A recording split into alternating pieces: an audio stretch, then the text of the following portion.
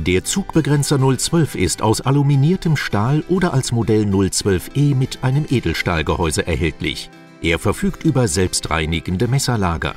Der Schornsteinzug kann von 10 bis 30 Pascal reguliert werden.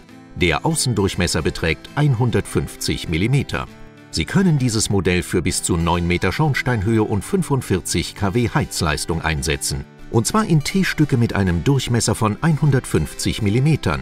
Mit dem Anschlussstück A oder dem Sattelanschlussstück AZ an Verbindungsleitungen mit beliebiger Steigung.